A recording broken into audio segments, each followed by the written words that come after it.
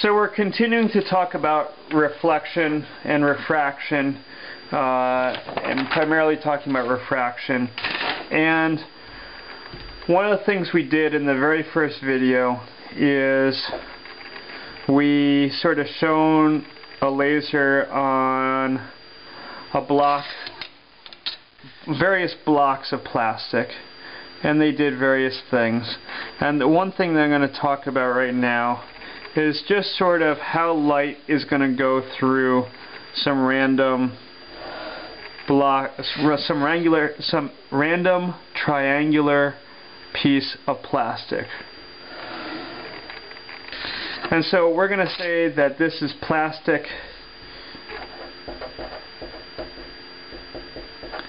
with uh, n equal to 1.6 and it's going to be surrounded by air with an index of refraction of approximately 1. And what we're going to do is we're going to have a ray of light come down just a little bit something like uh, like that. So here is my laser that can burn a hole in the ozone layer. Now, when it strikes here, two things are going to happen. There's going to be a reflection and there's going to be a refraction. And so what we, the first thing we need is we need a normal because all of our angles have to be measured off of normal. So we have to create a normal and I'm going to make it like this. And I'm going to call this normal number one. And so we're going to get an angle right here like this. That is going to be 37.5 degrees And so the very first thing that's going to happen is you're going to get a reflection. That's also going to be 37.5 degrees off of normal. Some of the light waves are going to go out like this.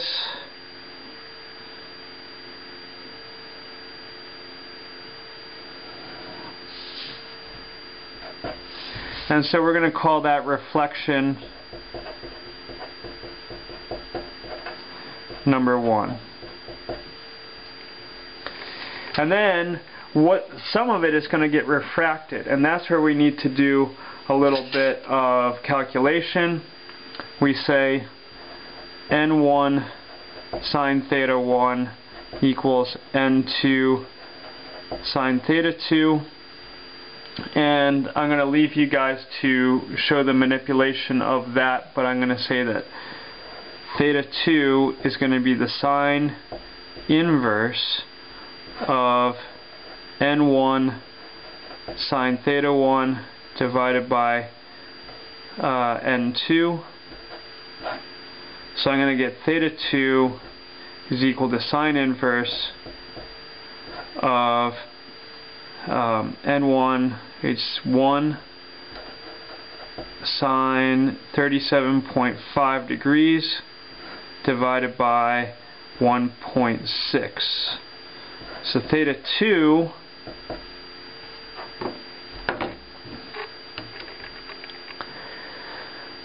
doing it out sine uh, 37.5 divided by 1.6 I'm going to get 22.4 degrees. So, I'm going to measure 22.4 degrees off of that normal. Can be somewhere down like that. And so the ray of light is going to go right there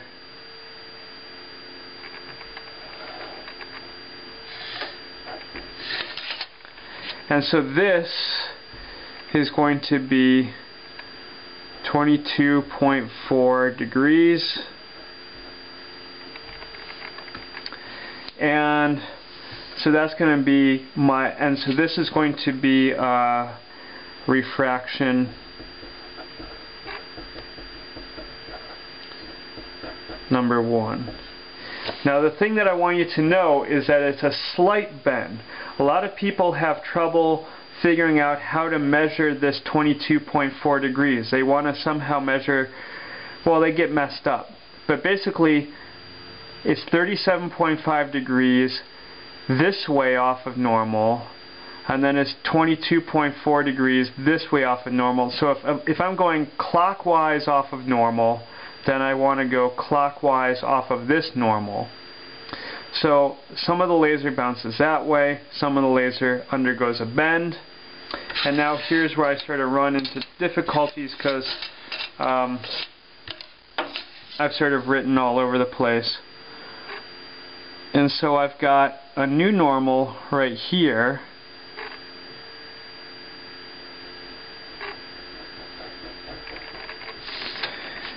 and so this is normal number two. And now I've got these small little angles here that lead to a lot of uh, difficulty. And I'm going to say that that I'm going to say that's 11 degrees. So right in there that little angle is 11 degrees. Well, that means that some of the light is going to get bounced out, is going to reflect back at 11 degrees.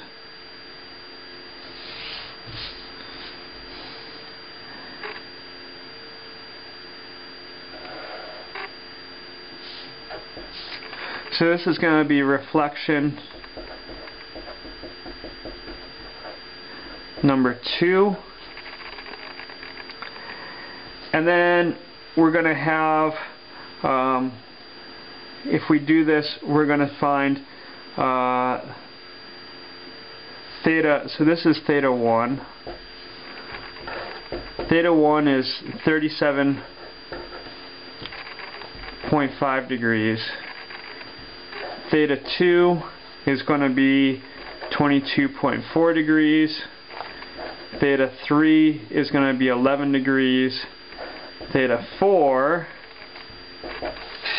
well, theta 4 is going to be this index of refraction, well it's going to be the sine inverse of 1.6 times the sine of 11 degrees divided by the index of refraction of the outside material, which is 1, so I'm going to get sine inverse of 1.6 times the sine of 11 degrees. And I'm going to get 17.8 degrees. So theta 4 is 17.8 degrees. And again, so now it's coming in clockwise off, counterclockwise off of normal.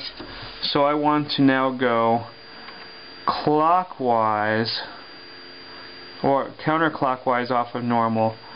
So uh, here I want to go out to 17, uh, 17 and somewhere in that neighborhood. And so I'm going to have a ray of light that bends out and this here is 17.8 degrees. And this is refraction number two. So very very very complicated diagram. If you kind of looked uh, at back at video one you saw that very complicated things were happening. And I decided for now again here we have another bounce. Two things are going to happen here. There's going to be some refraction and there's going to be some reflection. Well that reflection is probably going to go over here and there's going to be some refraction there and some reflection there but I'm not going to get into that. So ray of light comes in 37.5, some of it goes this way, some of it is refracted this way, some of it is reflected this way, some of it is refracted that way, and that's as far as I'm going with that video.